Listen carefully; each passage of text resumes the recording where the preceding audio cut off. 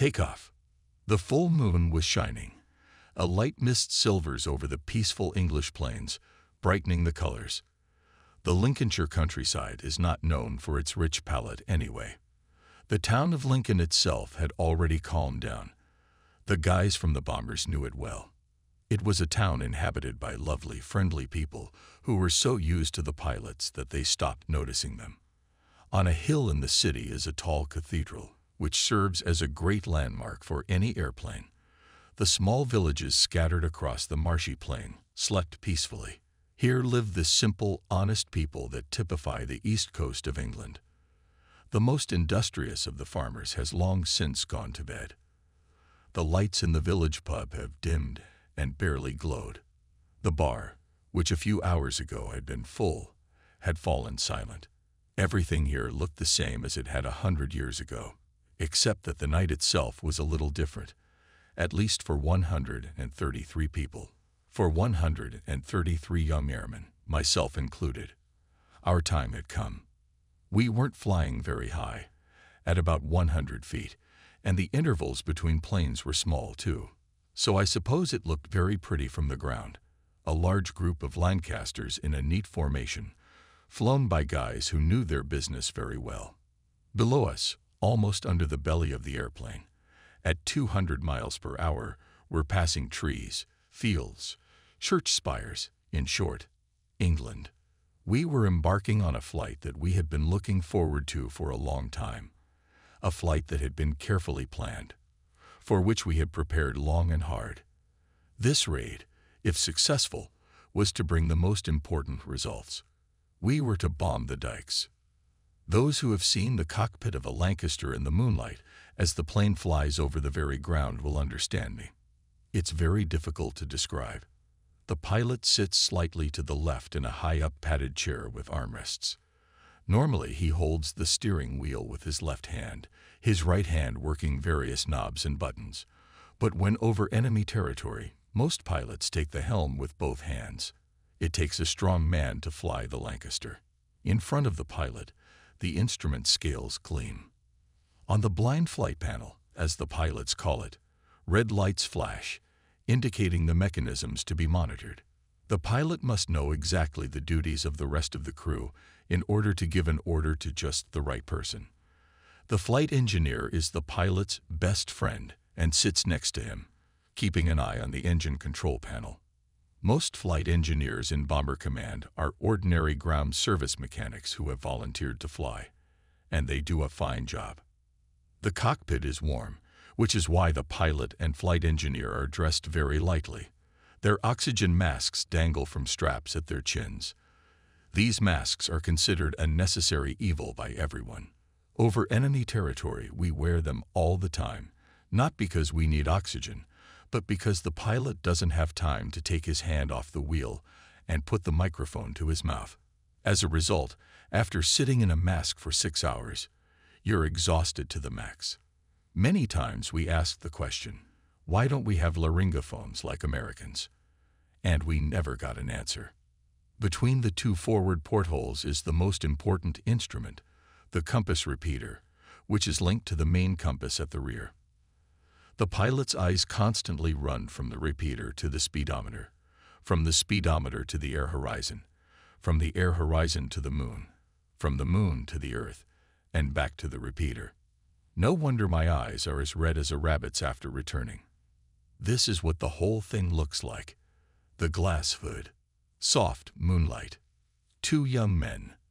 They are very young but they are already seasoned professionals. They are proud of their squadron, determined to complete the mission and return home. All are silent. Only the wind is whistling overboard, and the four Merlin engines are humming heavily. It's quite warm in my Lancaster, although Hutch has turned off the heat. I'm sitting in just my shirt and life jacket. Oddly enough, my vest is made in Germany. I took it from one of the planes I shot down in 1940 and it serves as the envy of the entire squadron. The windows are open and a jet of cold air blasts into the cockpit, making an eerie noise. I, straining my voice, shouted to Flight Engineer Pulford, For God's sake, close that window. Pulford was born in London. He is polite and exceptionally hardworking. He will rummage around until he finishes the job, and there is no way to distract him.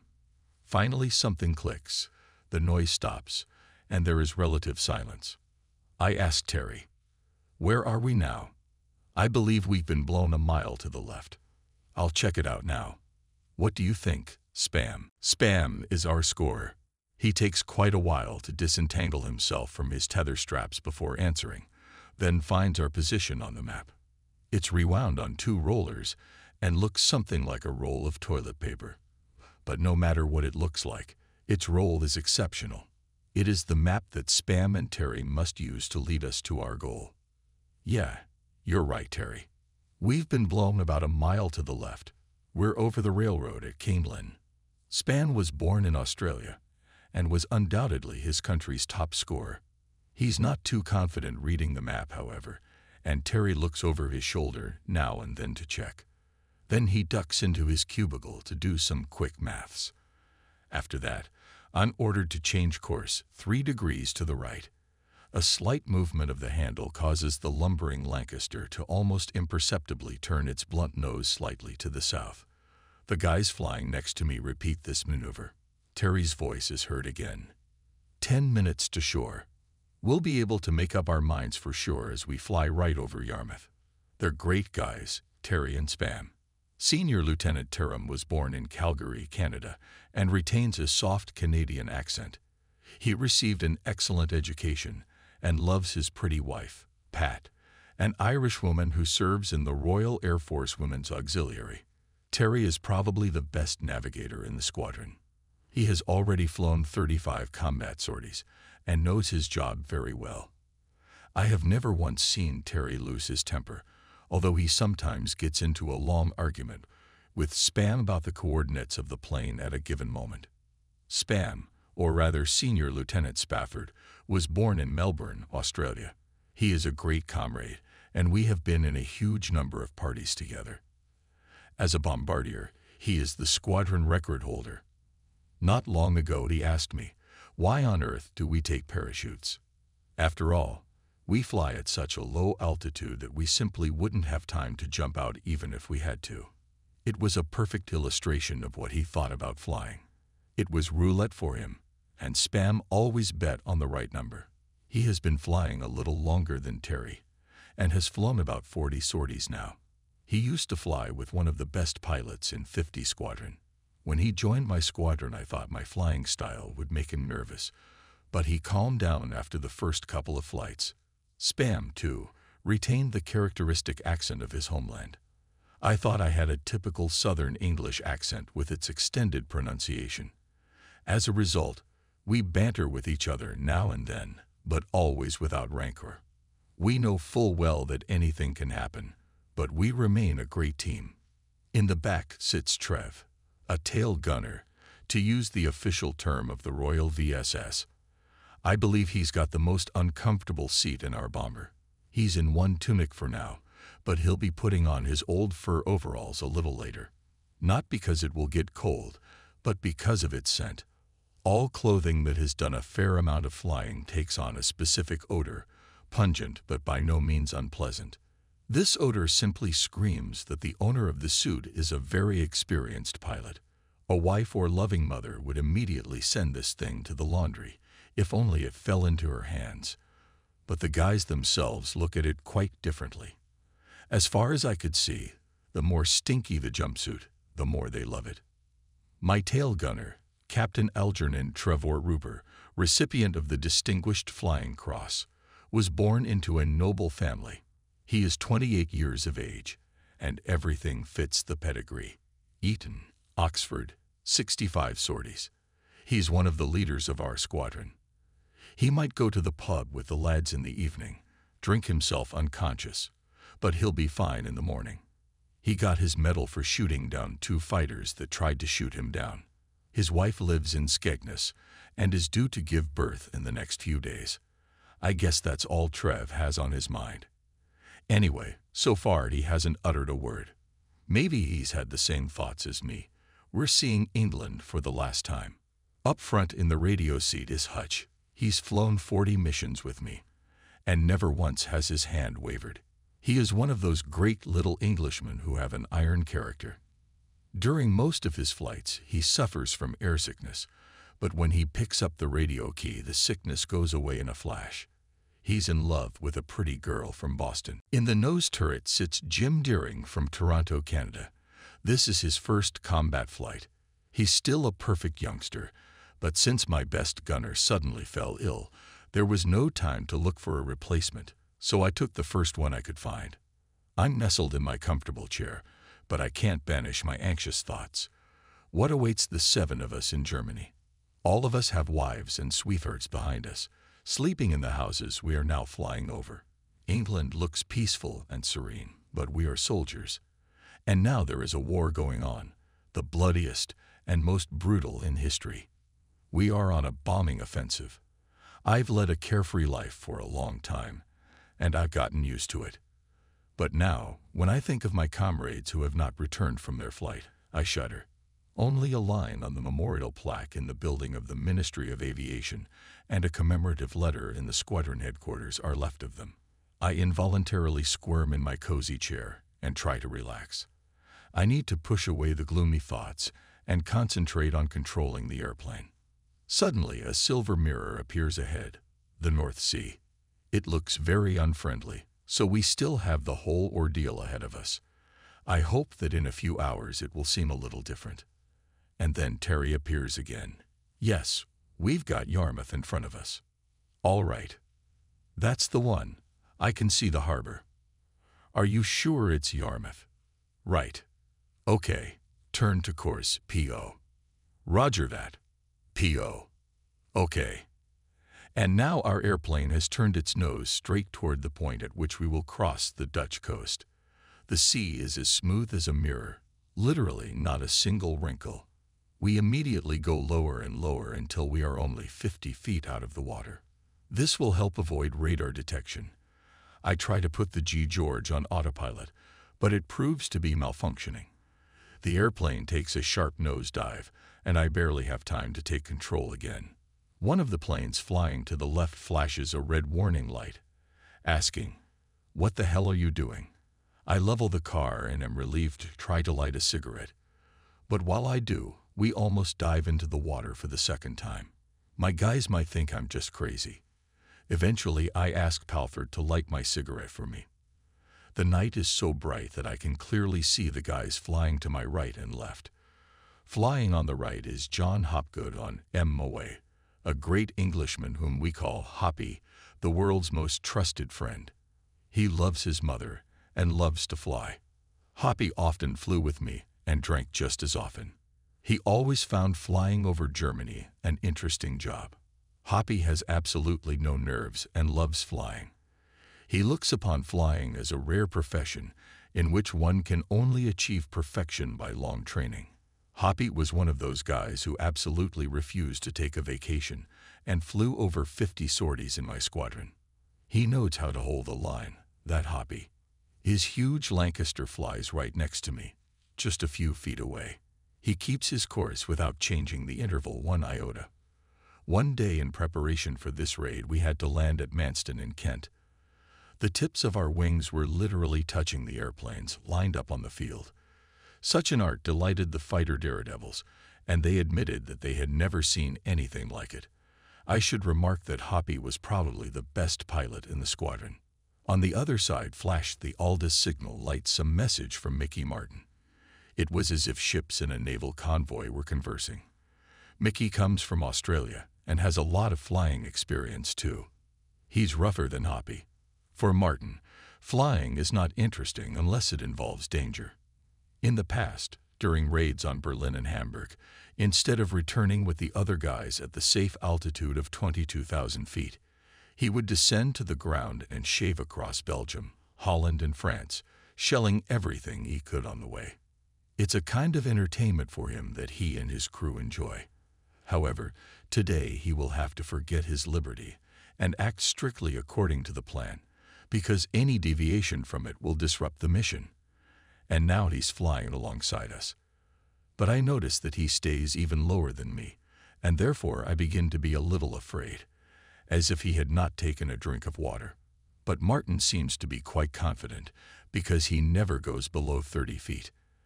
At the back is everyone else, the American Melvin Young, who leads Bill Astell and David Maltby. He is followed by Henry Model along with Australians Dave Shannon and Len Knight. That's my link, and we make a great team together. The sea is surprisingly calm. I haven't seen anything like it before. As Mickey goes lower to the water, I can clearly see the reflection of his airplane. And to the north comes the nightmare of all bombers, a ghostly glow. Scientists call it the northern lights, the aurora borealis, but they should hear what we call it when enemy fighters are around. This glow is a constant presence all summer long. Summer is summer. The time of darkness is very short. We have to get over the target as quickly as possible and make it back. But 200 miles away, in deep, deep bunkers, the Germans are awake. The cathode tubes of the sophisticated equipment, which should detect us and raise the whole air defense system on its feet, are flickering green. The lower we fly, the closer we can get before they detect us. But I know that at a distance of 30 miles, we will still be spotted, even if the planes will be flaps of bomb hatches to hit the crests of the waves. And then the anti-aircraft gunners will rush to their guns. And then the fighters take to the air. And then turmoil rises in the Air Defense Control Center. And then the Krotz and Quislingatsy will rush to dugouts and shelters, with fear listening to the hum of the engines of our Lancaster. Hutch read the message. What is it, Hutch? He says he's gonna be drunk as hell tomorrow night. Tell him, you're quite right. It's going to be the biggest binge of all time. Hutch tapped the handle of the signal lamp. Soon we were flying over a small convoy, whose ships flashed searchlights requesting identification from us.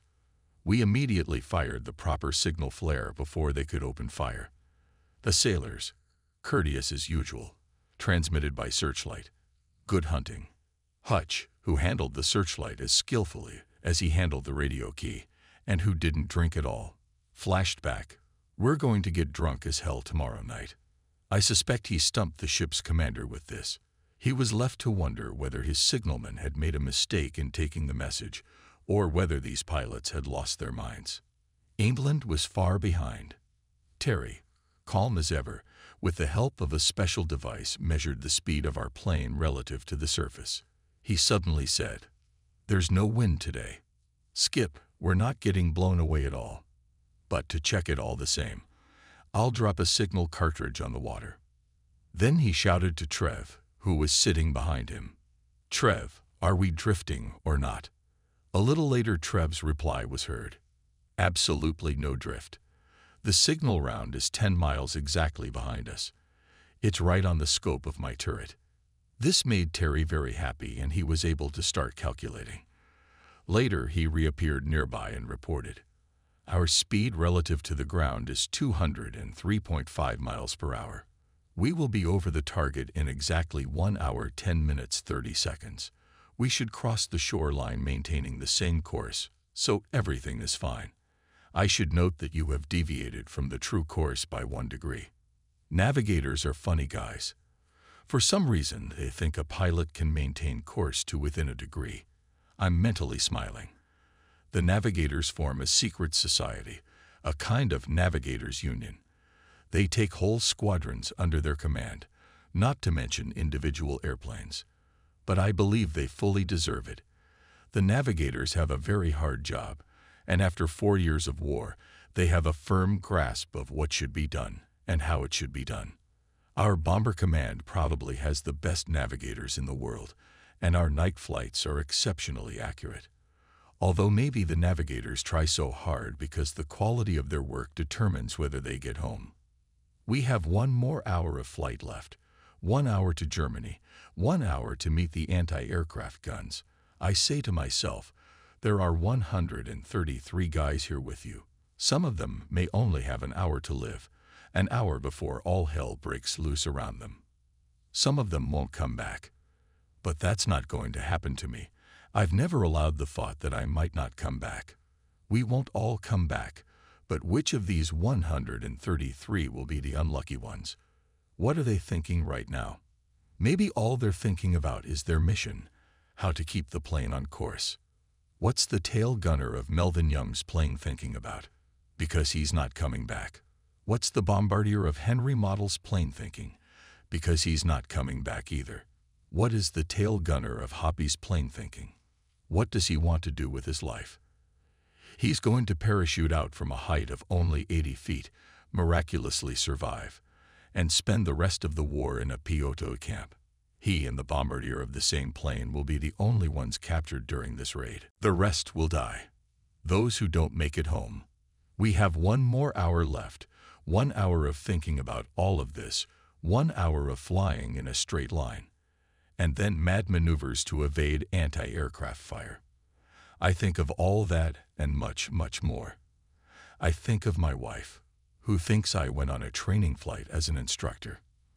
I think of my dog who died last night, about the scientists who made this raid possible. I wonder, what am I even doing here? Why? Why am I so lucky? I've been pondering this since the early days of the war, because the rigors of wartime have quickly turned a company of merry hangers on serving in the Royal Air Force into a stern brotherhood in arms whose members have been staring death in the face for many days in a row for four endless years now. The day of August 31, 1939, was quite hot. I sat on the bank of a small sailboat, dressed in bathing shorts, and tried to get a tan, although the sun was already rather autumnal. At the same time, I tried to splash the broken line, which was not easy, although I had been a scout a few years before. The sun was scorching. The sea was deep blue. In the stern of the boat, padded, sat Anne, lovely as ever. She was dozing. Windy, my hydro aviation cat who had spent more time in the air than any other cat, purred in her lap. I glanced at her occasionally, thinking about my own thoughts. It was a couple hundred yards to the shore. I could hear the rustle of the surf, but it was not a big wave today, so the boat swayed only slightly. This suited Anne, who, despite her charm, was seasick. From Monkstone Beach came the voices of children. They were building sandcastles, playing leapfrog, and generally turning the beach into a playground.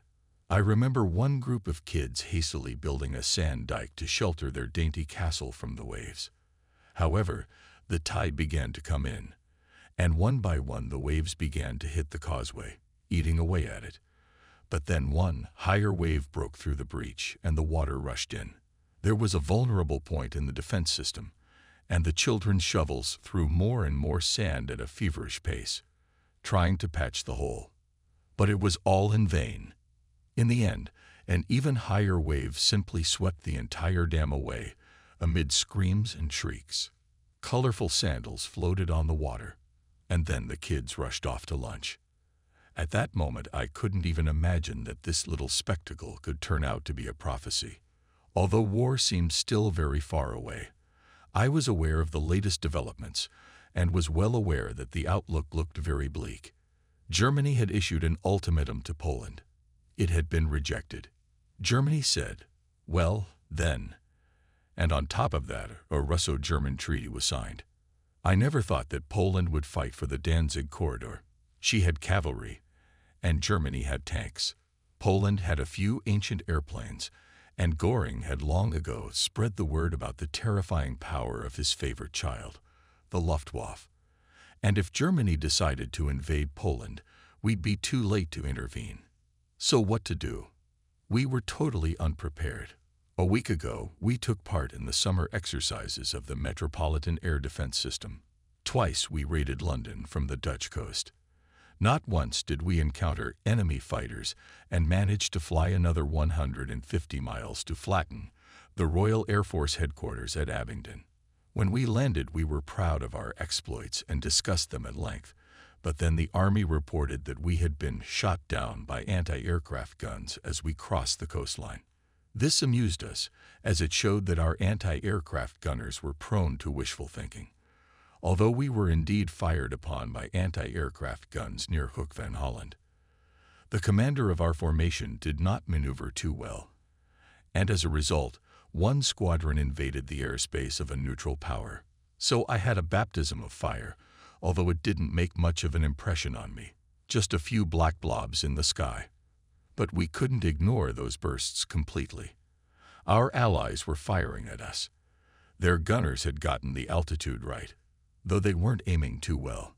But as bad as the situation looks today, a year ago it was much worse. We didn't even have the Hampden bombers. We were flying prehistoric Hawker Hinds. Yeah, this crisis wasn't as bad as the last ones. In Lincolnshire, we had a running joke. The bomber boys are doing their best to prepare for war, while Chamberlain and Hitler are making peace in the world. We loaded machine guns, refueled tanks, and even repainted the planes in camouflage. The only annoying detail was the lack of bombs on the airfield. They didn't arrive until three weeks later. But anyway, there was no point in thinking about it all. It was just frustration. And anyway, I was on vacation. So I dozed off to the quiet splash of the waves against the side of the boat, worrying only about not burning my back. War did not exist for me. Suddenly, the boat rocked, and someone's voice snapped me out of my half slumber. Guy, there's a telegram for you on the beach.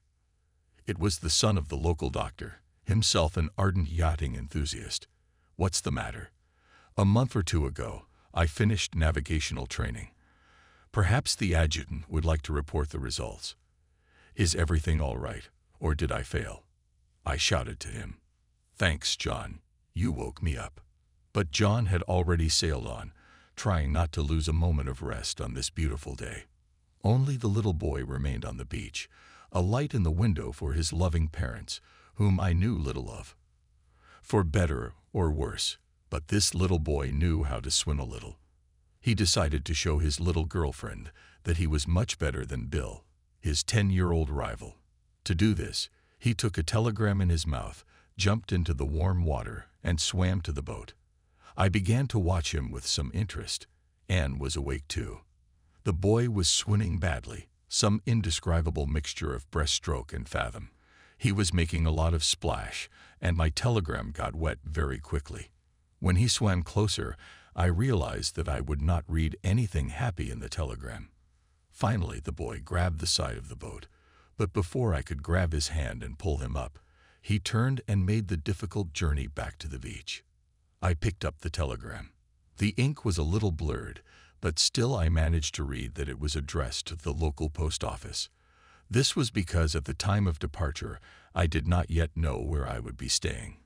We took a room at Mrs. Thompson's for a moderate sum, four shillings and sixpence a day, which suited my salary as a senior air lieutenant.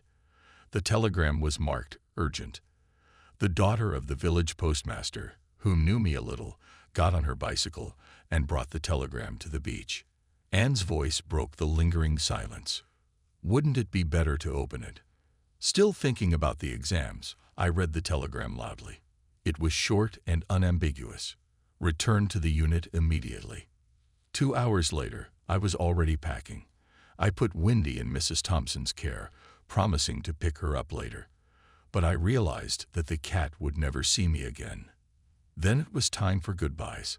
Goodbyes to the Crawfords, at whose house I had vacationed last summer. A few tears were shed, and I even felt like a character in a war movie returning to the front. Goodbyes to Anne. Goodbyes to Ruth Wilson Bowen, with whom I had recently quarreled and had just reconciled. We were supposed to meet the day before yesterday, but she went off with some guy. There was also Desmond, who had just enlisted in the army. There were a lot of other people whose names I just can't remember. Then we rode off with Freddie Bilby, saddling up in his old Alvis. My good friend Freddie had just arrived from Oxford, where he was studying biology.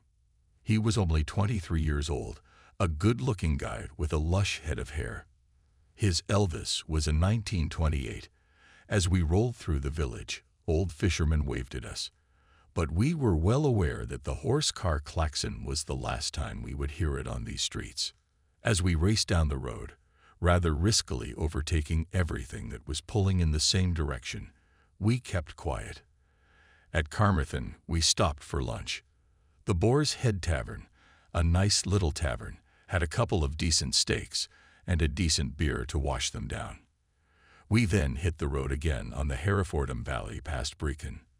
We then got out on the highway to Stratford-on-Avon. Several times we lost our way. There were the first signs of impending war as long lines lined up outside the gas stations. It seems to me that everyone had decided that gasoline would be issued on cards from the first day of the war. Often there were cars full of bales and suitcases on the road. People were trying to get home as quickly as possible. Most of them, however, were soon to start sending their children back to the villages. I could not make sense of my feelings. On the one hand, I felt a certain excitement, but at the same time I felt a strange desolation, because this was the first time this was really happening. The silence was broken by Freddy. You know, Guy, I have a strange feeling. None of us know what's going to happen to us in the next few days, do we? Just yesterday we were getting ready for a fun cocktail party. Now what are we preparing for? I have absolutely no idea. Neither do I. If war breaks out, and I fear it's heading that way, my squadron will have to support our boys in France, and I have a great fear that we won't live long enough to get to know her better. I was convinced of that, but still I found the strength to make a joke but you'll probably get a chance to put your medical experience into practice. That's for sure. I graduated from Oxford and got my medical degree. I think I'll be posted to Kent, to a field hospital, from where we'll be transferred to France when things get tight there. I have a feeling it's going to be a bloody business. I smiled a little. Freddie, the doctor, was an idealist. He intended to save lives, and I, the realist, intended to take them. Our roads to war went in different directions, though both were absolutely necessary. As we rolled down the highway, I admired the peaceful countryside and wondered what would happen to me a year later. How I hated the Nesses. How could normal people in Germany let this gang of thugs who wanted world domination get their hands on power? Their slogan was brutality, atrocity, barbarism. The Rhineland, Austria, Czechoslovakia, Abyssinia, and Albania were only the beginning of a long list. I thought of the children building their sand dams and beautiful sandcastles on the beach. Their weak walls were no defense against the high waves crashing in from all sides. They had to be built in time, before the tide began, mixing sand and stones with cement, calling for help from other children lazing in the sun. Then the tide could not overwhelm the castle. Only if nations unite when common freedom is threatened, despite different ideals, different languages, will they be able to create a common army that will be so strong that an aggressor will not be able to break that barrier. America has already declared that this is a European war. It doesn't concern us. Russia has signed a pact with Germany. The other friendly powers maintained a strict neutrality. It looked like England and France were going to have to pick up the slack. I was not a career military man. I had joined the Royal Air Force in 1936 just to learn to fly. In April, I was going to leave military service to become a test pilot. It was a good job that didn't pay badly. But Mussolini broke all my plans when he invaded Albania. And now Hitler had crumpled my entire summer vacation, and it looked like it would be for years to come. England wasn't ready for war. No one doubted that although the Royal Navy was babbling something about an impenetrable blockade that would bring Germany to her knees in six months, although the British Lion had acquired wings, was it all serious? We had very few bombers, mostly Wellingtons and Hampdens. Good old Whitleys still survived. But none of them could carry enough bombs, and only a few crews knew how to find targets. The navigational work was put out of hand badly. Most of the fighter aircraft were Gladiators and Hurricane's Eye. Squadrons of Spitfires, Typhoons, and Lancasters were still only in the dreams of designers. We had very few flight schools, and even those were within range of German bombers. The Imperial pilot training program had not yet been set in motion. What could happen as a result of these delays? Wouldn't we have to fight with ever-melting forces until we had nothing left at all? The last of the pilots with military experience, who were still in the Royal Air Force, said that the average life expectancy of a bomber pilot was 10 hours flying time. In that case, we had no future. What would happen in the cities and factories that Germany would start bombing from the first day of the war? We had no serious air defense. This summer, a brigadier general invited me to a drill of Army anti-aircraft gunners who were trying to shoot down target drones. I agreed, and for two hours I watched the Army anti-aircraft gunners fire hundreds of rounds at a small biplane that was whizzing back and forth over their heads at 5,000 feet. They fired just nastily, and the target wasn't even scratched. It was only when it went in for a landing that the control officer failed to handle it, and the target crashed with its wing into the sea. Then one of the Army officers, not hiding his pride, said, And yet in the end we finished her off. He did not even blush as he looked into the face of the Air Force officer who had to repair the target to continue the exercise the next day. The state of the Army was simply terrible. Almost no tanks, no modern weapons, no trained personnel, although it was not the Army's fault. Just look at our compatriots. They resented us loudly when we flew over London, trying to learn how to intercept night bombers. They called us cheeky playboys. Sluggish apathy and fed-up complacency may well have brought the British Empire to its knees, if not blown it to pieces altogether. In 1936, the Air Force began to increase, but the process was agonizingly slow, and even today we were not much stronger than in 1938. Munich, what a sight. But maybe Chamberlain was right after all. Who knows? The only thing I'm sure of is that, thank God, we didn't go to war in 1938. And what can be said about our ally France? In July, we flew to Marseilles and back via Paris and Lyon to show the flag. We visited several airfields along the way, but did not see a single French airplane anywhere. Where had they all gone? No one knew. It seems that the French government had no less hand in the collapse of their country's defense capability than ours. Why did two great nations fall so low?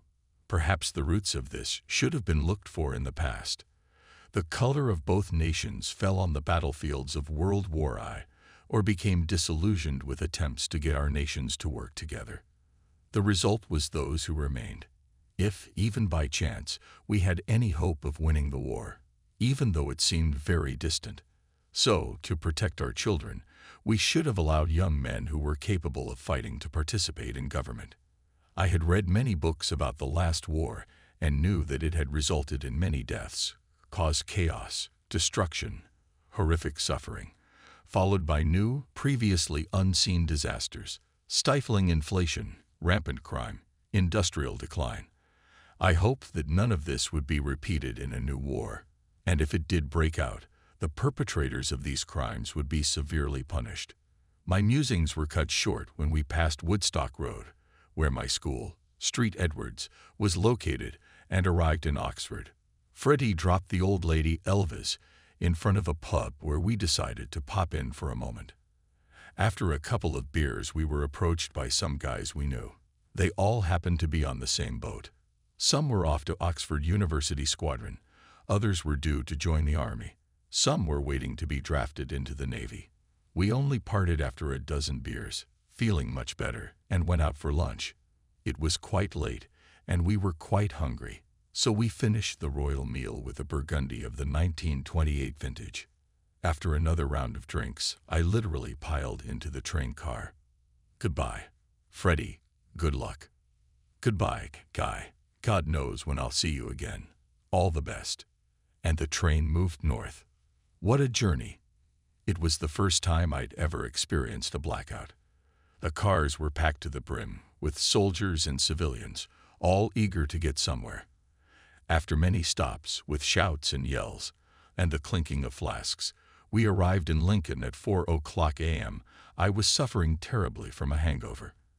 After some nervousness, after signing a couple of papers, I motored to Scampton, sunny Scampton, as we called it, for it was in Lincolnshire, and not many people got sunshine there. But there was an old bomber air base left in the town from the last war. As we drove through the gates, I noted that all the windows were covered with black curtains and the streetlights were out. In the officers' mess hall, only the dim blue lamps of the emergency lighting were burning. It was impossible to read in their dim light, but there were not enough blackout curtains for all the buildings. When I finished breakfast and was about to go to bed, our eagles arrived.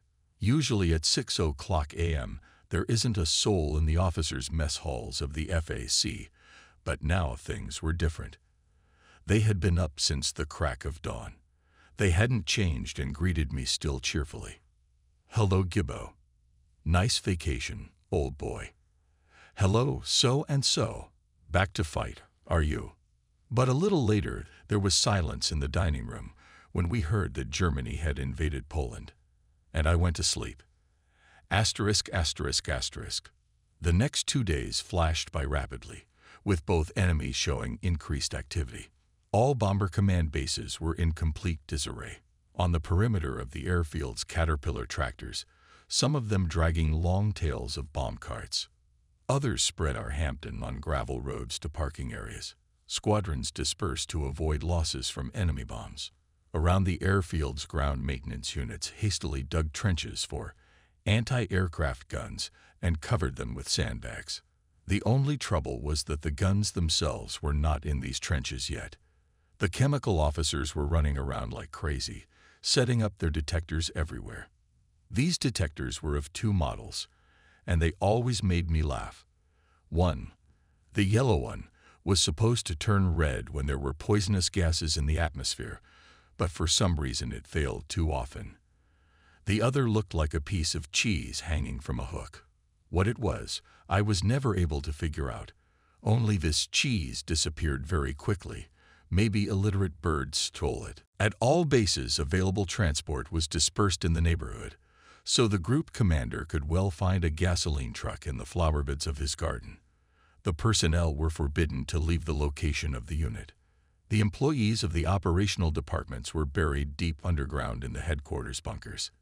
It was almost impossible to enter or leave. In front of the door, a steel plate half an inch thick, sat two sentries with rifles. This was where all IDs were carefully checked, and these guys were finally getting a chance to get even for all their past troubles with Cerberus like the squadron surgeons. Inside the bunkers, in the ghostly glow of the blue lamps again, the clerks and women of the auxiliary of the KVVS. They were carrying rolls of maps, cutting them, gluing them, folding them, twisting them. There were maps of Holland, France, the Siegfried Line. There were even maps of Berlin. There were two officers sitting in the corner, going over the maps with their targets indicated. As I passed by, I noticed that there were pictures of Wilhelmshaven Harbor pinned to each one. In the middle of the room, the base commander sat at a huge desk, soaked and flustered. There was a reason for this. Directly in front of him was a mountain of folders labeled Military Plans, Phase 1, Phase 2, and so on. The folders contained documents that would only come into effect in the event of war or mobilization. He frowned and grimaced now and then. The young officer stood on the stairs near a huge map pinned to the wall and at times whispered something to the female assistants. If they giggled, the base commander turned black as a cloud. The hangars rang and rumbled, as hammers were being used to straighten the airplane plating and hammer in some rivets. Sometimes one of the mechanics, having forgotten, began to hum something, and then the senior surgeon, or chiffy, immediately rushed to the voice, and the singing was silenced. If we try to characterize the situation as a whole, we can say simply, vanity of vanities. But the flying staff was not affected. Most of the day we sat or lay on the grass in front of the canteen building. The sun was scorching mercilessly, and some of us even took off our flight overalls and threw them next to us. Officially, we were in a state of pre-flight readiness. What that meant, we didn't understand, but we assumed that we would be sent to bomb something somewhere sometime. There was the usual idle chatter about girls, about drinking, but not a word about the war. We had all heard that our ambassador in Berlin had given Hitler an ultimatum, demanding the withdrawal of German troops from Poland. There was still a tiny hope that things would settle down.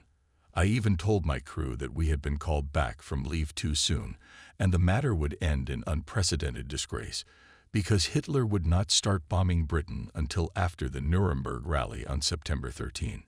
Since no one was allowed to leave the base, wild drinking parties were organized in the evenings.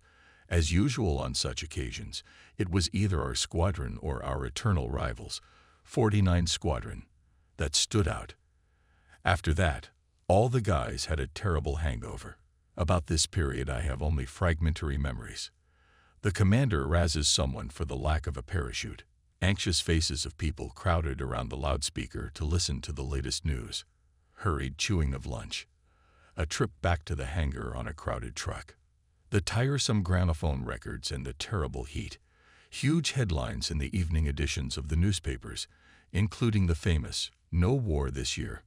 My old messenger Crosby, who woke me up every day at 4 a.m., said in his characteristic bass, your cup of tea, sir.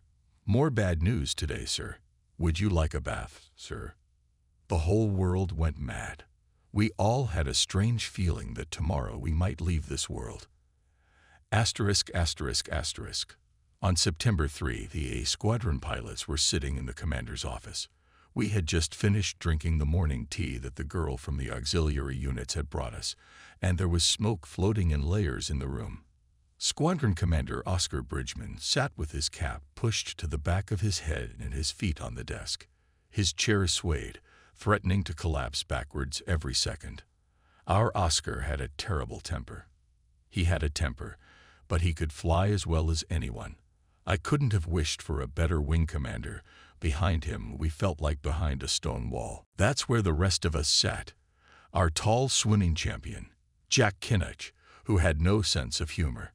There were also Mulligan and Ross, whom we nicknamed Mull and Rossi, two Australians who had joined the squadron in 1937. They went almost everywhere together. At times they would get into long arguments, which the whole squadron would laugh at. There was also an Englishman, Ian Hayden, married to a pretty girl called Dell. Ian was very attached to Dell, and every evening, as soon as he was free, he ran away to Lincoln, where they lived. Now he was in a great deal of pain, for he had not been home for several nights. Here sat Strong. What an eagle! He had a talent for always getting into some kind of story. Pitcairn Hill was the only career officer in our unit. Very good-looking, a true Scotsman. Pete was a fine sportsman and played rugby for the Air Force. Then there were all the others who I won't list. However, in any case, they too served in the A-Link. We were proud of ourselves, the A-Link guys, because we were always ahead of the B-Link, both in flying and drinking. Suddenly, the door opened, and Chiffy walked in. All the planes are ready for a test flight. Okay, Oscar said and slapped his palm on the table. Staff sheet. Langford trumpeted and stepped out. He was a great guy, this Langford. He was in charge of the technical condition of the squadron's airplanes. For several years now he had shown up with the unfailing report that the planes were ready, and I have no doubt that he was doing the same today. I could write a great deal about our ground staff. They were wonderful people who gave their best to their work, but received very little for it. The only thing that kept them going was their pride in their work. As Oscar finished telling the bishop's joke, the door suddenly burst open and Crappy flew in. Crappy Kitson looked as if he were going into labor. There was something unusual about it. He didn't say anything but ran over to the window and turned on the radio. In complete silence, we heard the words of Chamberlain, who told us, and the whole world, the sad news. There was henceforth a state of war between Great Britain and Germany. Oscar took a deep drag, and then let the smoke out of his nostrils. All right, boys, so be it. You'd better head to your planes and check them out. Be back in half an hour. There's probably jobs for us. I went to inspect my S. Charlie and found it in the regular parking lot. It was my airplane, and I must say, a pretty lousy one. On takeoff, it was always skidding to the right, and in flight, the left wing was always pulling down. Sometimes the engine would fail, but we put up with it. We even loved it because it was ours. During this period, my crew was not fully staffed. The co-pilot with me was a Somerset native named Jack Warner.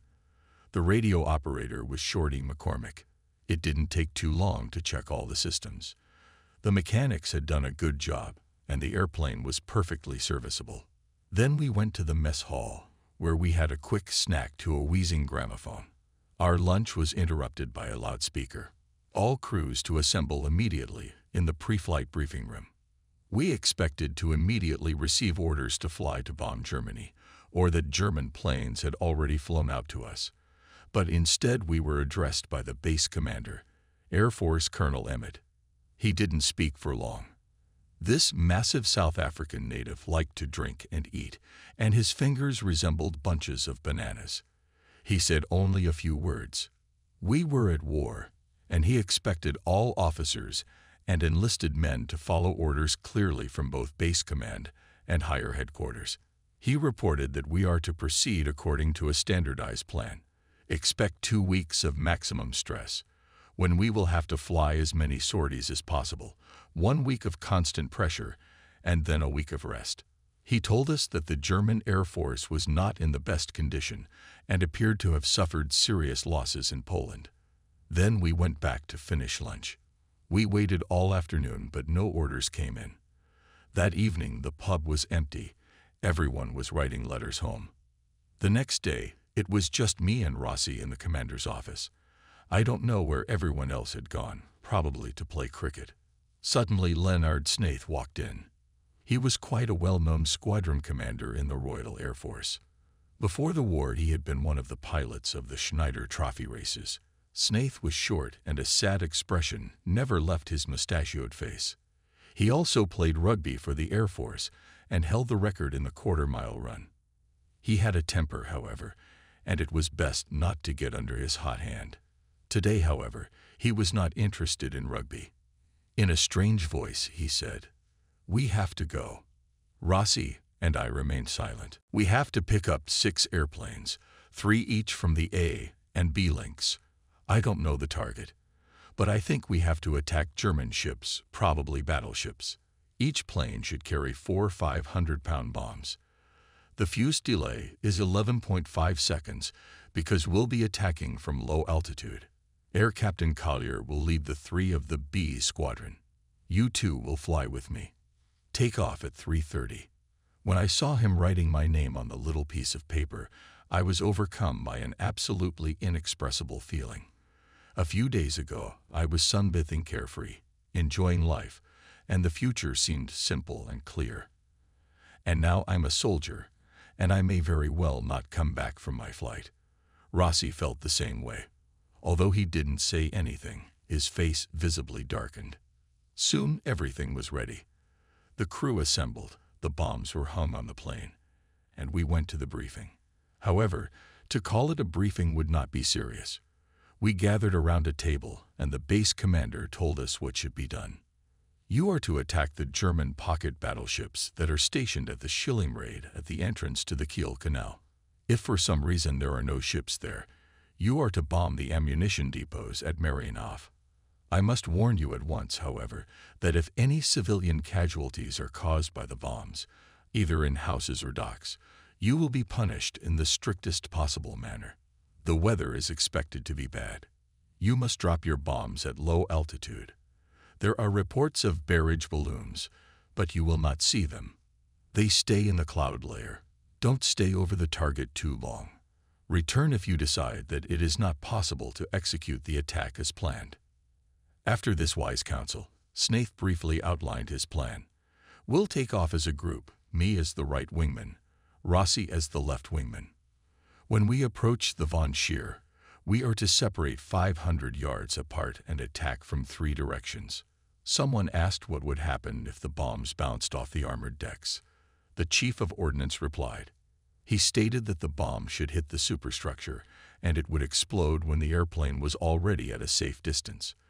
Then Captain Pitt, who served as intelligence officer, took the floor.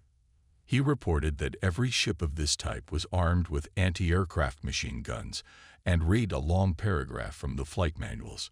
It stated that one should attack from an altitude of 3,000 feet to avoid anti-aircraft fire. This was above the ceiling of the anti-aircraft machine guns, but below the minimum effective height of the heavy guns. He repeated again that under no circumstances should we bomb Germany. Then someone else came up and started telling us how we should take off with bombs. None of us had ever done this before, and we simply had no idea how the Hampden would behave with 2,000 pounds of bombs on board. Advice is easier to give than to follow. He recommended using the trimmers more in flight. On the run-up, he should have taken the handle and given the fullest throttle possible. This all sounded pretty reasonable, as we had no idea about any of this. Today, looking back, I realize with horror that we knew nothing at all. Only somehow we theorized that the Hampdens flew with a bomb load as well. There was nothing more to do in the headquarters, and we went to the restrooms, thinking over the finished plan. When we got off the bus, we got the commander's final advice. On no account were we to break away from the formation unless he himself ordered it. We were to fly together and act as a unit, not apart. The time was 2.30 p.m. when we were already getting into the trucks to go to the airplanes. A message came from the headquarters. The takeoff is delayed until 16.00. That was unnecessary. My guys were nervous enough as it was, and now they would rather be in the air than spend another hour waiting in suspense. We lay in the sun, smoking, but hardly talking. Everyone was trying to guess what had happened to delay the flight for an hour. In an air war, that's almost an eternity. At 15.30, there was a new message. The flight was postponed until 17.00. This time the messenger was escorted away with profanity. Everyone was nervous. My hands were starting to shake. We always wanted to run to the toilet. Some of us went there four times an hour. Finally, the order came to get into trucks and go to the airplanes. The pilots who stayed on the ground crowded around us. They just didn't know what should be said in cases like this. Eventually, they said goodbye to us, and someone uttered, Have a good trip. See you tonight. As I sat down in my pilot's seat, Tuffy, one of the mechanics, bent over to me and said in my ear, Good luck, sir. Give those bastards a real kick in the ass. I don't think I said anything in response, just smiled. About the way one smiles when one doesn't hear too clearly what's being said. But Tuffy was one of the old-timers and realized exactly what had happened. Fastening my harness straps, he added, Now you don't have to worry. You'll be all right. You'll be back. And he was right. About five minutes later, we started the engines and began to taxi for takeoff waiting for the guys from 49 Squadron, led by George Lerwill, to take off. It was to George that the dubious laurels belong. His fifth group plane was the first to take off to strike Germany. We watched them take to the air, one by one. Some planes wiggled noticeably, but otherwise had no problems on takeoff. After that, Willie took off, then Rossi. In just a few minutes, they disappeared in a cloud of propeller dust. But now I was completely calm and ready for anything. I gently pulled the brake handle, pushing both throttle gears forward at the same time. Then I released the brakes and the old Hampden slowly lifted its tail. Thirty seconds later it was in the air, and we were headed for German territory. The airplane was too heavy. It took quite a while before we gained normal speed. It did not obey the rudders well and kept trying to stall on the wing. After a while I managed to get in line with Willie Snyder, and we set a course for Lincoln Cathedral. I could hardly hear Jack Warner saying, Okay, course 80 degrees magnetic compass, speed 160. But my thoughts were too far away. I was only watching the meadows drifting away under the wing. I could hardly believe that I had left England and was flying to Germany to drop bombs. It was just unbelievable. Many times we did training raids, but we always knew firmly that we would be back. We were sure there was a mug of beer waiting for us in the mess hall. That was not the case now. The fields were just beautiful. Sometimes you can even admire Lincoln County. I didn't want to leave it, all the while being drawn to turn back. I even wished something had broken at S. Charlie's so we could turn around legally. But we had no luck. The motor was hammering like a sewing machine. Damn it. Then, far ahead, the coast showed up. Soon we were flying over a summer camp near Skegness. Only two months ago, I was here with the rest of the Link pilots, and we were all having a lot of fun. But soon the camp melted into the haze, and Germany was still two hours away. Time stretched slowly. We were flying at low altitude, only 1,000 feet. The waves below us looked much bleaker than before, but that was probably a joke of the imagination. Little Willie was looking straight ahead.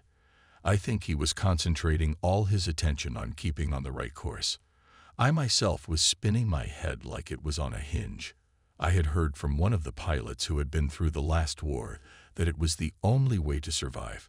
Perhaps Willie's excessive focus was the reason he didn't notice the German flying boat that flew 500 feet below us. It was a Do-18.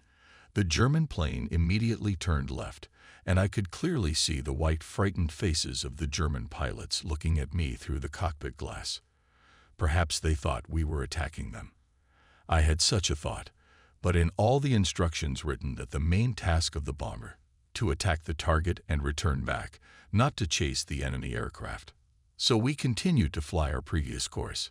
About 40 miles from Wilhelmshaven, the lower boundary of the cloud suddenly dropped to 300 feet.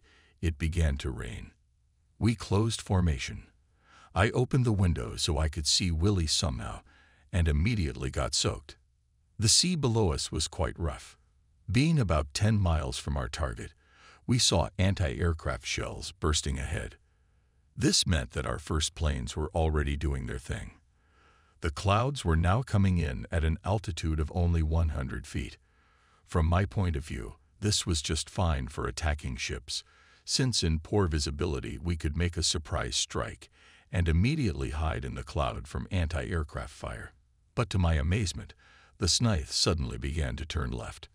Completely unaware of what he was doing, I repeated the maneuver.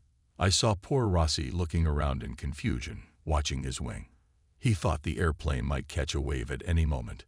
Then the leader straightened out, and I suddenly realized that he had turned back. Of course he was quite right. There was no doubt about it.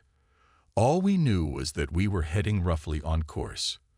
But the bursts were equally likely to belong to Dutch guns or German guns from Helgoland. Snaith was not going to risk three airplanes to carry out an unsuccessful attack.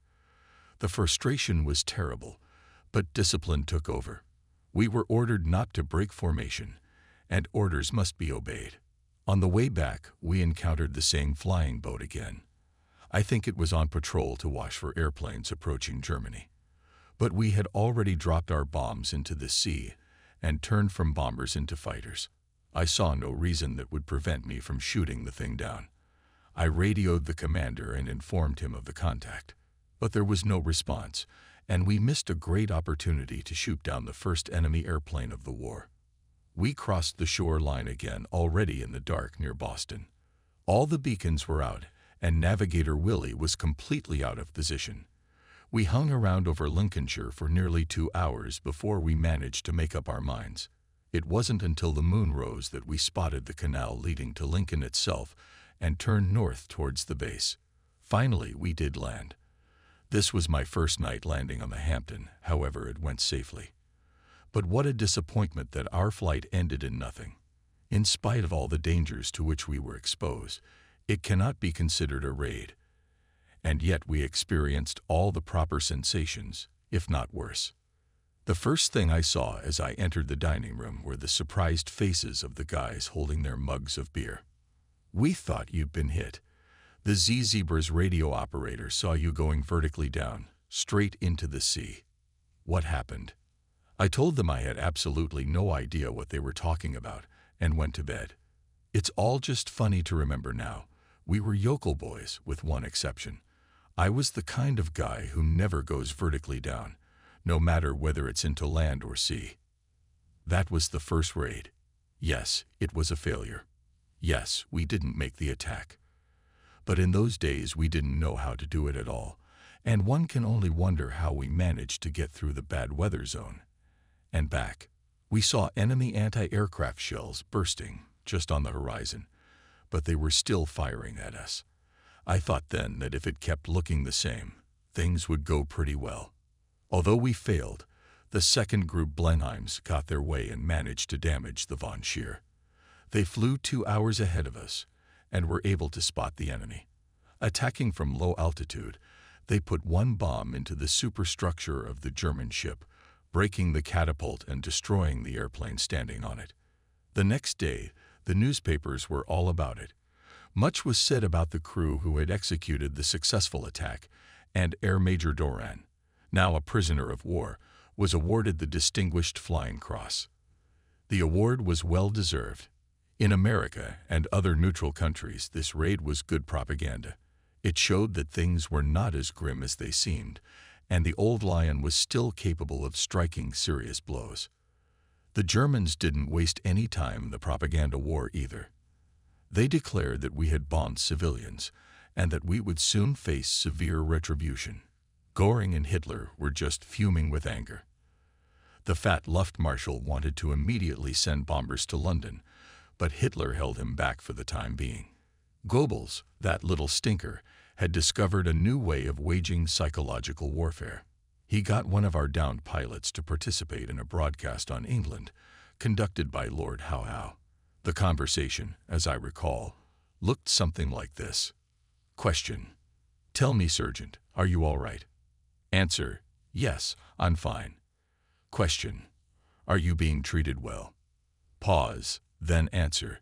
Yes, everyone is very nice to me. Question. How do you eat? Long pause, then answer. Wonderful, just like home. That's a bad show. I can see a gun to the poor guy's head. Asterisk, asterisk, asterisk. The next day, I became the second military victim. I went to retrieve my parachute from the airplane. When I entered the mess hall, I saw a large black Labrador sitting in the hall. I love dogs, so I decided to walk up to him to pat him on the head and tell him how glad we were to see him in the mess hall. But the Labrador had an opinion of his own. His huge jaws clamped down on my arm, and I rushed to the washroom. Blood was pouring from my bitten hand, and a huge piece of my pants had been torn out. The pants were new, by the way. As the monster chased me, intent on biting me again, Pitcairn entered the pub, wearing heavy flight boots. Pete was a man of determination, and his swift kick threw the beast into the air. The dog scurried away.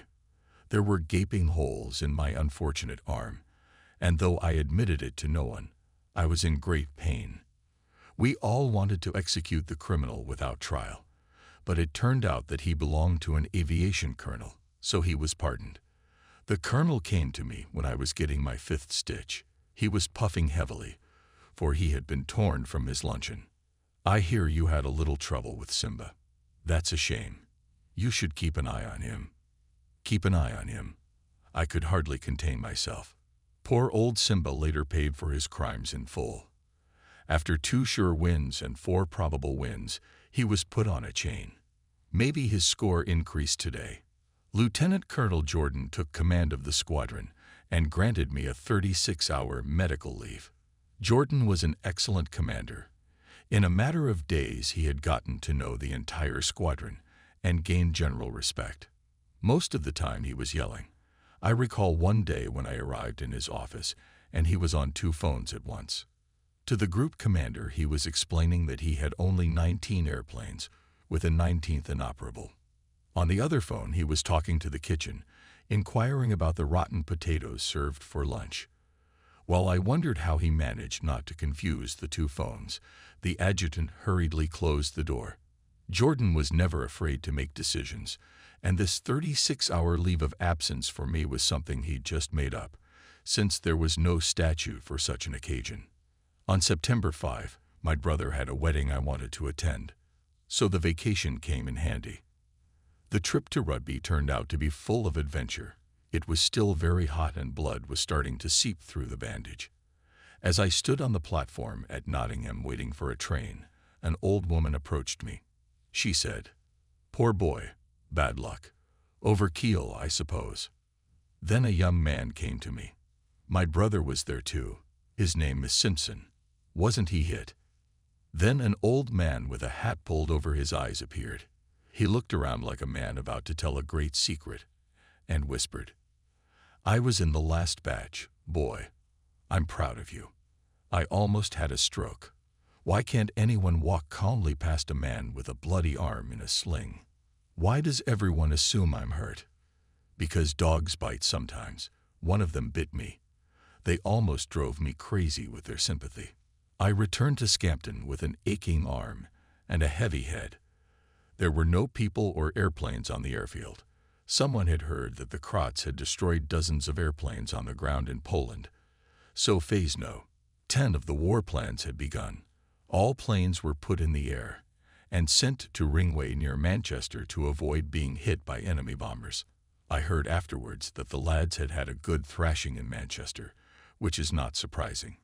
So as soon as the doctor took the stitches out, I rushed over there too. When I got there, it was a cloudy day. I took a cab to the club. There Rossi told me the latest news. The guys were really doing well. Oscar had found a decent pub with beer, a gramophone, and pretty barmaids. One of the pilots even managed to propose to one of them after another round of drinks. The pub was located in a very good place, just halfway between Manchester and the airfield. So you could say you were heading for the city, but stop halfway, saving time and money, and indulge in more pleasant pursuits, such as drinking. For several days we lived in appalling conditions. Over 40 people slept on mattresses right on the floor in a large hall. There were no wash basins and the pub had only one bath. But what was good about Ringway was that it was the assembly point for the women's auxiliary of the Air Force. These girls still wore dresses and were simply charming. They belonged to those who had enlisted at the very beginning of the war, when the prospects looked pretty grim, but their choice had not yet been forced. Work at Ringway was almost non-existent. Every day we gathered to check out the airplanes. It usually didn't take more than half an hour at most, and then we were free. Some would take a bath. Some would shave and clean themselves to get themselves in godly shape and ready to go to the pub for a five o'clock. The beer was consumed in huge quantities. Once news came that a German battleship had appeared in the Irish Sea, but it never happened again, and we spent our time quite serenely. Numerous parties were thrown. Needless to say, the numerous guys in blue flying uniforms attracted everyone's attention in the pub. It was a real vacation for us. The war had faded into the background, even though we had been fighting for a month.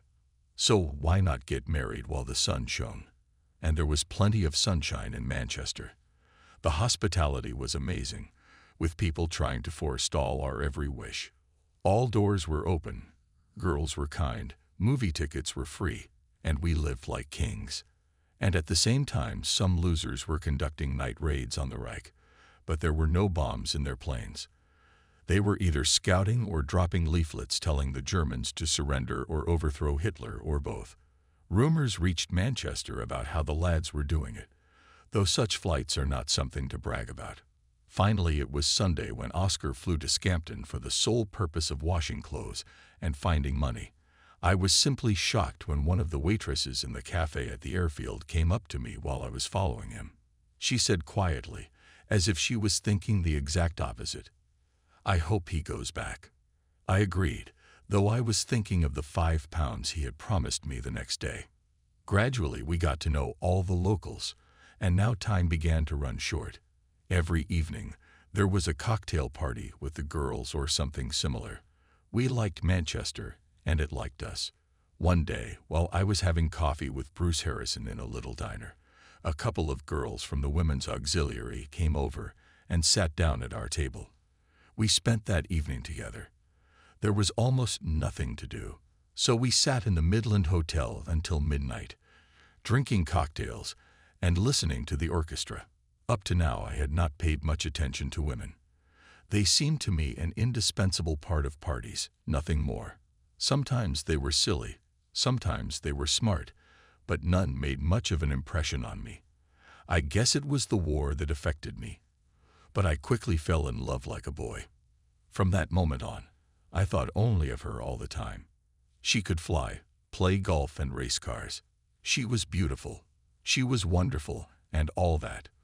But although Barbara was very affectionate with me, one day she declared quite firmly that her heart belonged to a certain naval aviation pilot. So there you go.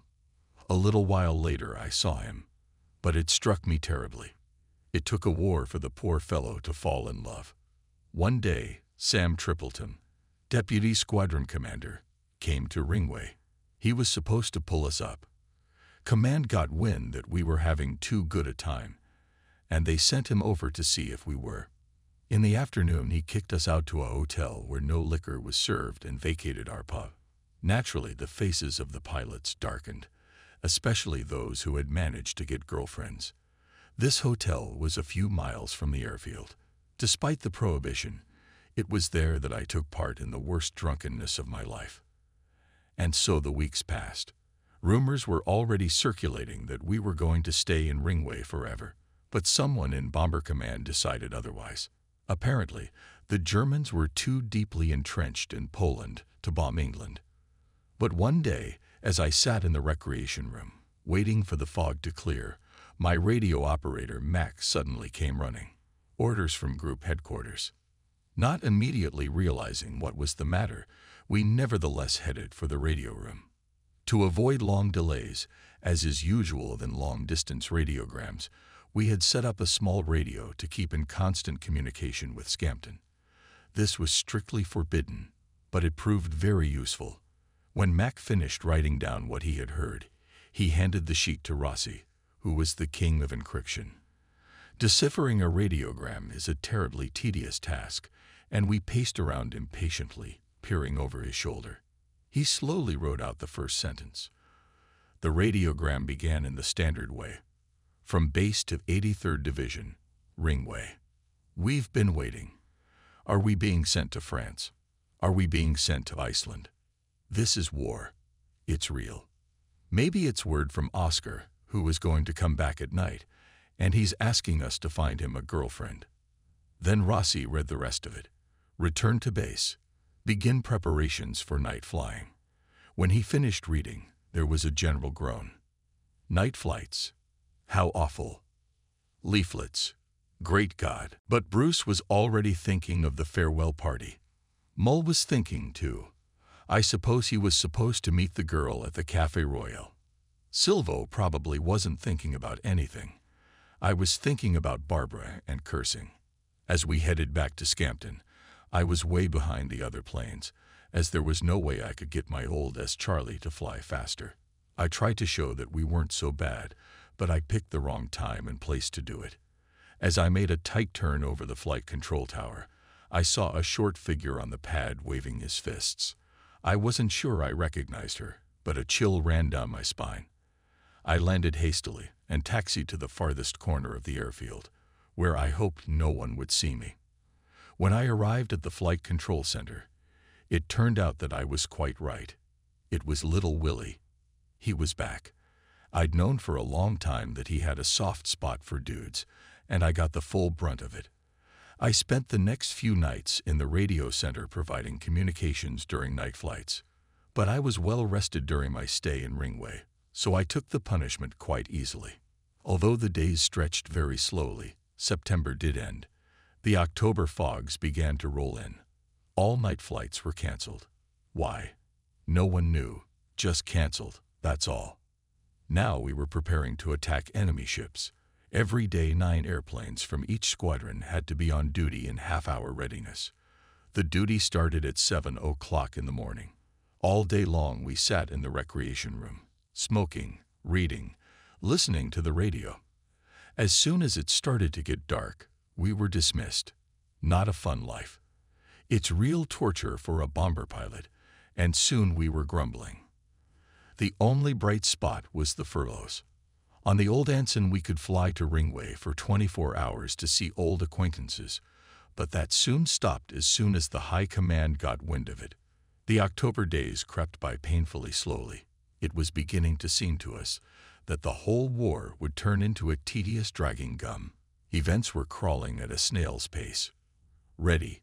Stand down. Postponement. Boring. Gradually it began to dawn on us that all of last month's firesides were a waste of time and money.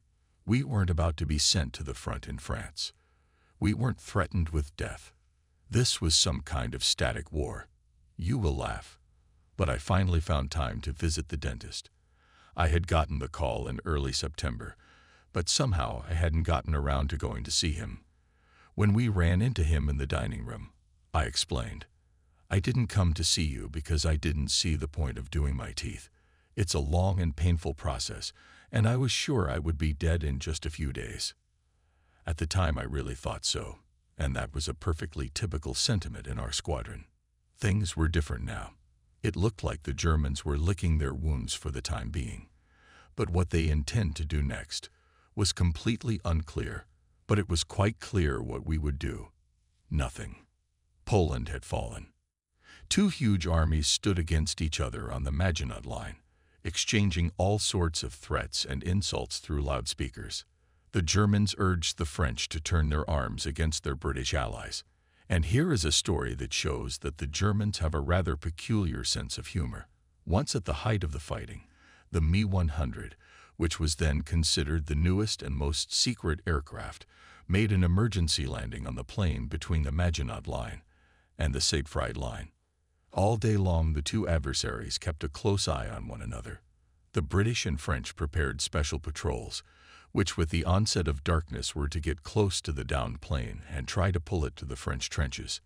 Night came on. It was cloudy and quite dark. The patrol moved forward, crawling on all fours. The soldiers were afraid to breathe, lest they attract the attention of the Germans. Finally, they got close to the Messerschmitt. For a few minutes they tried to catch their breath, and then tied a rope around the tail of the plane.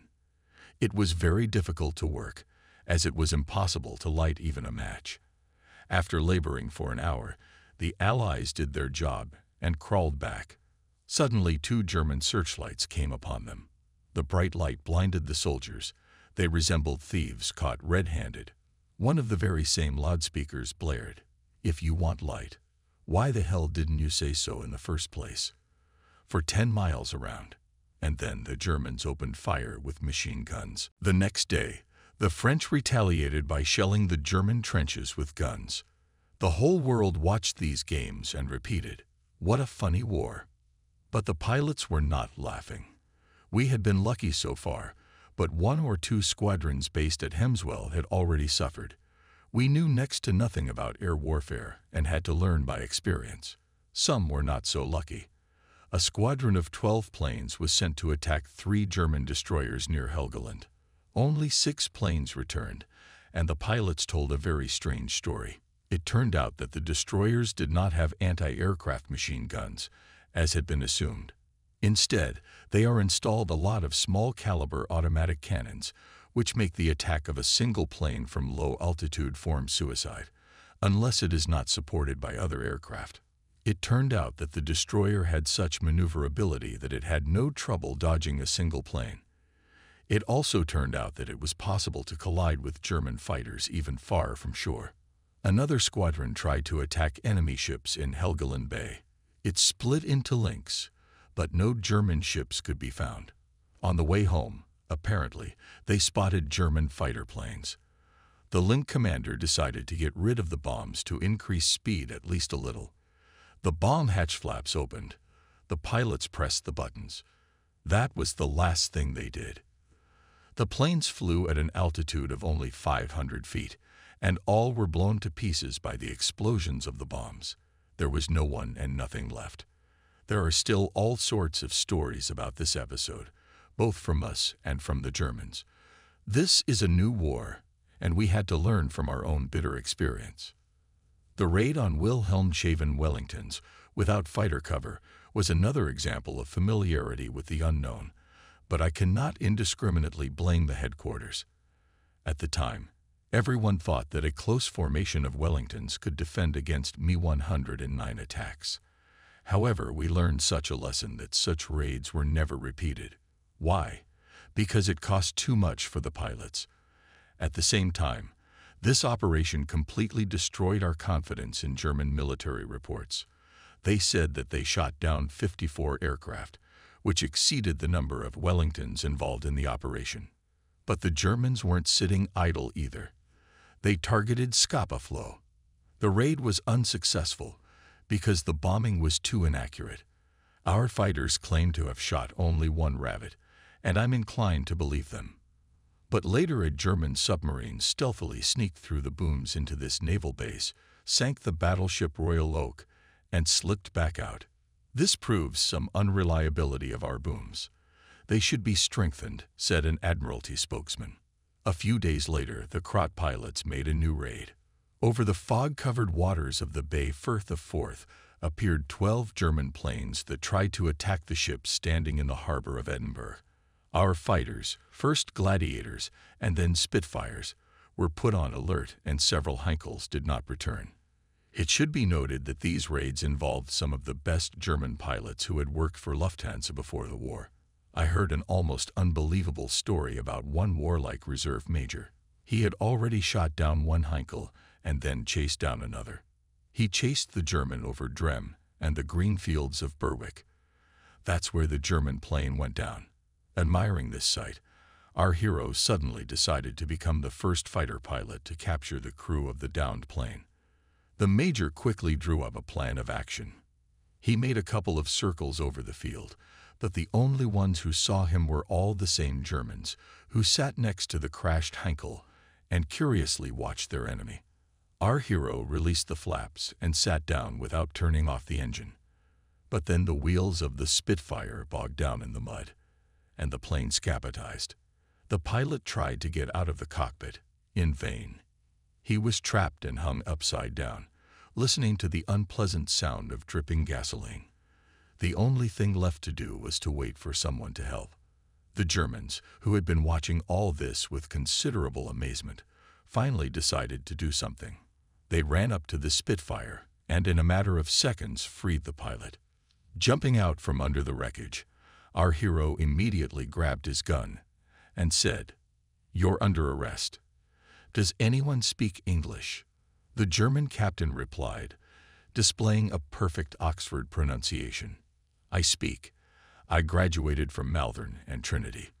But Major, that was one hell of a bad landing. These are the kind of stories that began to emerge over time. Whether they were true or not is unknown. However, any one of them had some basis in fact, and for many more months similar tales were told in all the pubs of Lincoln. I should note here that at that time the enlisted men could not yet perform as well as the enlisted pilots. About a year later they had settled in and performed to the best of their ability. But in the harsh days of 1939, they could not yet be relied upon. However, about this a little later. In November the rains came. Our squadron began to receive replenishment. Flashed new people who arrived from training units. One day we were sitting in the flight control center when five new recruits arrived at once. Jackie Withers, Tony Mills, Bill Twiddell, Dickie Bunker, and Grinny Greenwell. They were all English except for Grinny, who was born in South Africa. They were visibly nervous as they had absolutely no idea what was in store for them. They were all quite young, except for Jackie Withers. Oscar looked around at the newcomers. I suppose they didn't expect to see such a young link commander, and certainly didn't expect his uniform to be open, his cap knocked back on the back of his head and his feet flaunting on the table. He said, Boys, you are all very lucky because you fell into my link. All provocateurs go to the B link. The only thing required of you is to show performance and high-flying discipline. You've probably been taught to fly Hampdens, and you probably think you're ace, but I'm afraid I'm going to have to disappoint you. You're all going to be co-pilots. That means you'll have to learn to navigate, and it also means that you'll only be allowed to fly the airplane on a night training flight. He quickly assigned the new recruits. Tony Mills went to Jack Kynoch. Greeny went to Ian. Then Oscar smiled wryly and looked at me. And now you, Gibbo, since you have the crappiest radio operator, and the worst airplane. And since you're still a lardus yourself, you get this one. He pointed to Jackie Withers. I knew Oscar was joking, but Jackie didn't realize it.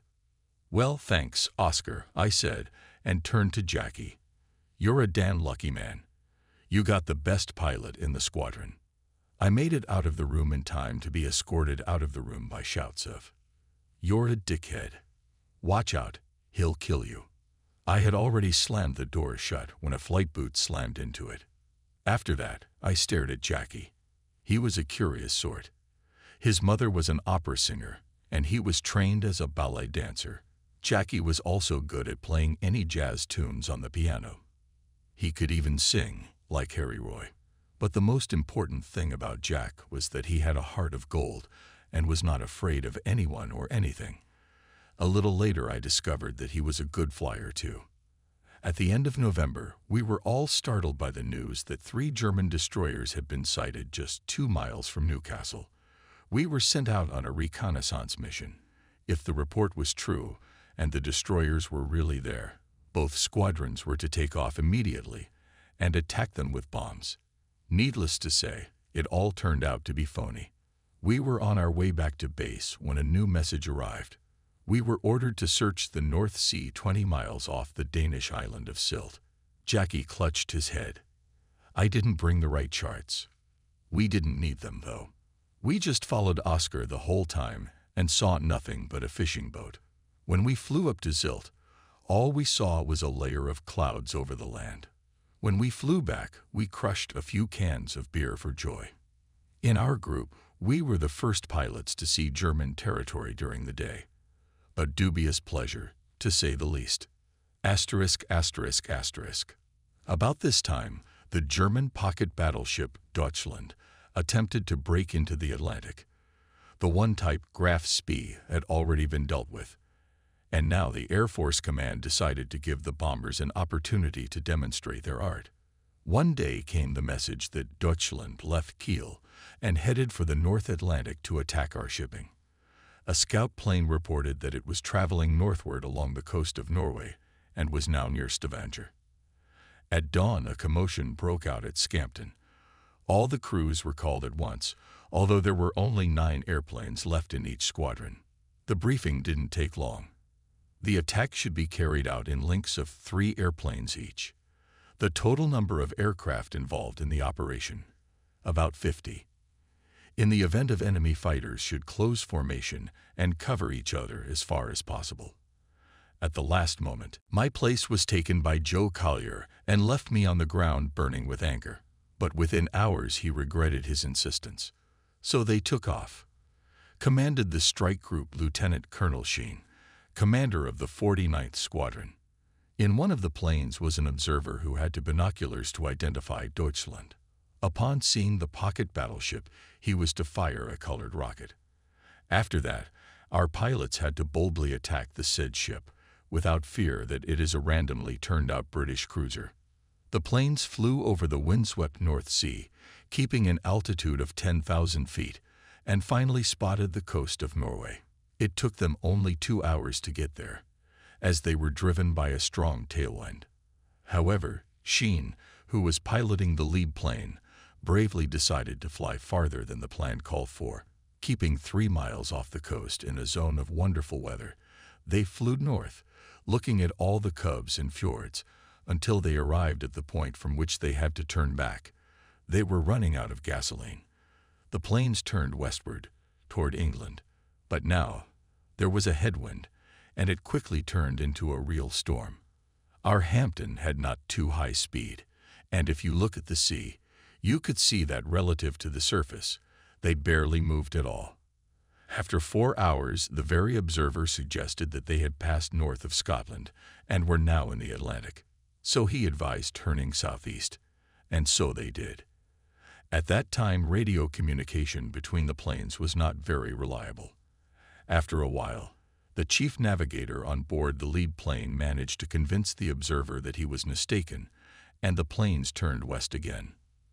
But now gasoline supplies were rapidly dwindling. The plane had been in the air for 10 hours, and the pilots anxiously watched the fuel gauges. The hands hovered around the 100-gallon mark, and there was no sign of land. It was beginning to look like the whole group was going to have to land on water. Suddenly, a small fishing boat emerged from the fog ahead. The day was drawing towards evening. It was already quite dark, and the old fisherman steering the boat had obviously finished his work and was on his way home. He was greatly surprised when suddenly 50 Hampdens began circling his boat, transmitting secret call signs with their searchlights. However, the fisherman had no radio or signal lights, so he simply waved at the planes, assuming the pilots were fooling around. Meanwhile, one of the squadrons, which was commanded by Willie Watt, describing another circle, accidentally spotted land on the horizon and immediately turned there. Fifteen minutes later, it landed safely in Montrose. She was followed by the rest of the squadron, which also managed to land. The bomber, which was piloted by one sergeant, was already coming in for a landing when it ran out of gasoline, and one engine quit. The pilot gave full throttle to the second engine, but after a few seconds that one also stalled. The airplane crashed in a cemetery near the airfield, but the crew was unharmed. On December 1, nothing happened. We only received a message that Russia had invaded Finland. Why it happened will be found out only after the war, but I believe the Russians. If they did so, they had good reasons, although we didn't think about it at the time. It was on December 1 that I got a three-day leave, the first since I had been bitten by a dog. We weren't allowed to go too far away. We always had to be able to get back to the unit in 12 hours. So I went to Coventry to stay with my brother. The vacation went quietly, including the usual amount of beer drinking and a game of rugby. But at one of the parties I met Eva Moore, and at the same moment I fell madly in love with her. She was short and very pretty, and she knew how to keep a conversation going. During the boring parties where war reports were chewed over, it was nice to meet someone to talk to about books and music. Most people who can talk about these things aren't very likable, but this girl was very attractive. Her parents worked in Cardiff. I was still licking the heartbreak Barbara had caused me, and most of the guys in my squadron already had steady girlfriends, so I didn't see any reason why I couldn't find a girlfriend. Eve suited me. It was very nice to live like a normal person, walking around with a beautiful girl. But it soon came to an end. The last night we were at a cocktail party at the King Head Hotel. The fun dragged on until 3 a.m. It was the most casual drinking. The only thing I remember was having the folly of mixing rum with whiskey. A foodie can only cringe when he hears about that. After saying goodbye to my brother and the rest of the company, I made my way to the car and headed for Scampton, which was about 100 miles away. No one can feel normal at 3 a.m., and rum and whiskey do not make one feel better. At times my eyes were blurry. The headlights had camouflage visors, and as a result the headlights did not shine at all. After an hour I lost the road and almost hit a ditch. Then I decided to sleep to wait for dawn. An hour or two later I woke up with a buzzing head and a nasty taste in my mouth. As they say, the rum went backwards. As soon as I got to Scampton, I rushed to the hangar and passed out in the pilot's lounge. I was a few hours late, but I didn't want Willie to catch me with horrible alcohol breath. The room was quiet and warm, and I got a great night's sleep. As I was dozing off, a few guys showed up. Through my sleep I heard someone say, Oh, Gibbo's back. Then someone else added, Look at those bags under his eyes. He had a lot of fun. Everyone laughed, and it was too much. With one leap I got to my feet and yelled at the couple eyeing me, Get out of here, you damn devils. I drove a hundred miles despite a terrible hangover. And now uh, I'm asleep. They immediately fled, for they had a perfect idea of my condition. The weather in December was for the most part terrible. Although we spent our time on constant alert, waiting for the order to take off, only two times did we actually get in the air to intercept the elusive Deutschland. But both times the order to return came just an hour later, and it appeared that we were getting our pay for nothing. Every day the airfield was covered with fog, although we could see a small farm at the other end of the airfield.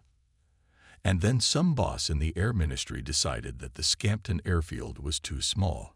This farm was in the way of lengthening it, so it was decided to demolish it. One of the squadron commanders, Johnny Cheek, suddenly had a bright idea. If the farmhouse is doomed, why not destroy it with 500-pound bombs? We would get some practice in bombing from low altitudes and at the same time find out how our bombs behaved in this case. At once a competition between squadrons was announced, and all began to look forward to the big day. At last, the opportunity arose. But at the very last moment, the ministry intervened and authorized the use of only training bombs. But they had to release a column of smoke when they fell for realism. The boys took off one by one. They dropped the bombs from a height of 100 feet. Although the pilots tried their best, the result was not good. Some just missed. Others had their bombs ricochet off the ground, fly over a building, and explode a quarter mile from the target. We learned a lot that day. It turned out that strafing was a lot harder than we thought. It turned out that ricocheting bombs could fly a long distance if the fuse was mounted in the tail section. Someone made a suggestion to attach pins to the bombs so they would stick into the ground like darts. The winner of the competition was Johnny Cheek, who managed to put a bomb right through a bedroom window. It was quite funny because he always lost at darts. That's how December went. Once or twice we had competitions. We practiced landing and bombing. In this way we tried to keep ourselves busy, but on the whole we were languishing in idleness. We were beginning to think there was some kind of strange war going on. One day I flew with Oscar to Street Athan in South Wales to pick up some secret equipment for our Hampdens. The flight was difficult as we were accompanied by low clouds the whole way. When we popped out of the clouds over the Bristol Channel, at an altitude of 500 feet, the ships of some convoy immediately opened fire on us and nearly shot us both down. We were saved only by the poor marksmanship of the gunners. And at the airfield we were stranded. The weather became even worse, and we decided to spend the night here to fly the next day. This suited me fine, because I was able to visit Eva's house and meet her parents. Then we left Cardiff. And then Christmas came up, our first military Christmas. From the morning, we were in readiness to fly out to attack enemy merchant ships. When it was time for lunch, we took oranges and other delicacies out of our in-flight only rations, and we thought of the lucky ones who could have a good drink and a good time. But someone upstairs heard our prayers, and the flight was canceled. The party did happen. First, we went to the mess hall of the enlisted personnel, which was covered with a shroud of tobacco smoke. The party began with loud yelling, each squadron tried to outshot their neighbors. First, the 49th took over, then the 83rd, then the 49th again, and it ended in a hellish cacophony. We remembered an old Royal Air Force tradition. On Christmas Day, the officers served the privates, and the privates were allowed to call the officers by whatever name they wanted. So we had to listen to a lot of unpleasantness. One mug of beer followed another, and faster and faster. The party got rougher and rougher, and the language got harsher and harsher. But here another tradition came in handy, that officers must leave the party when chairs start flying through the air, or they will be in trouble. Then we went to the surgeon's mess hall, where any of the surgeons had the right to splash gin into an officer's beer mug. I was spiked several times, and I just don't remember how I got home. No one was ever punished for it. Christmas, no one knows if we'll get to celebrate another one. After making sure the privates and NCOs had a good time and filled up on beer to the brim, we went to the officers' mess hall for our own celebration. It was a nightmare. The party turned into a stag party, as there were no girls at the party. But what a stag party it turned out to be. First, each squadron sat down separately. Then someone shouted, Boys, come here. To hell with the ceremonies. I still remember being pulled out from under a pile of bodies to be taken to the telephone. It was Eva calling to wish me a Merry Christmas. Then I headed back to that dump. It's just a miracle no one was hurt. Finally, I thought it would be a good idea to go to bed. I kicked myself hard and found it very difficult to walk straight. As I made my way down the hallway, I came across four fire extinguishers. I didn't notice them, partly because the hallway was dark, partly because I don't know why. Anyway, I hit all four of them in turn, and they all went off. I just didn't know what to do. First, I tried putting them on so that the foam would stop flooding the hallway. That didn't work. They would shut up for a second, and then start pouring down my pants again. It was impossible to control them, so I threw them out the window. What a racket! Glasses clinking, fire extinguishers gurgling. I got to bed feeling good that I'd done my best to get out of a bad situation. But the next day, the dining room clerk coldly informed me that I was to be deprived of liquor for a month, in view of the havoc I had wreaked in the dining room. I was terribly angry and rushed out to find Willie Snaith. He found a way to comfort me, however. Think about it, Gibbo. Everything that's done is done for the best. You'll save a lot of money, and you can spend it on gifts for your girlfriend. That sounded reasonable, and for a month I didn't touch alcohol. 1939 was over. It ended in a wrong way. A drunkenness, not a combat flight. But if we had known what awaited us in the next three years, the drunkenness would have been even more grandiose.